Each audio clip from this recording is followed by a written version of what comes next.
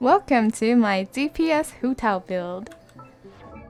Here is my level 90 Hu Tao sitting at 40k HP, so I focus more on HP because I've got the Homa Spear on her, 1.3k attack, very low because the um, Homa Spear will actually help boost her attack.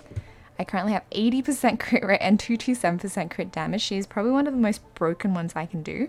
I can actually make this 30% and make this 303% crit damage because she is C6. But I put it as this just so that I know she will always crit and she has good crit damage. Weapon again, Staff of Homa level 1, uh, sorry, level 90, rank 1. Artifacts, full set Crimson Witch.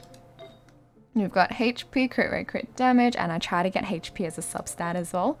We've got attack, crit rate, crit damage, ER, ignore the defense. We've got HP for this that I'm sacrificing on attack. And we've got crit rate 12% on here.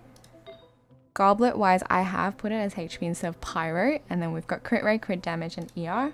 And then we've got crit rate and crit damage. I love this one. 28% crit damage on 31% crit rate. Reason why I don't have her on attack and she's only sitting at 1.3 is because if you use her E, I am now 4k attack. And this is with my HP not even being, not even on 50%. If it's 50%, I get more of a boost because of this weapon. Love it. This is my C6 Hu Tao. And talent-wise, I'm 6, 12, sorry, 6, 11, 12, very close to crowning her again.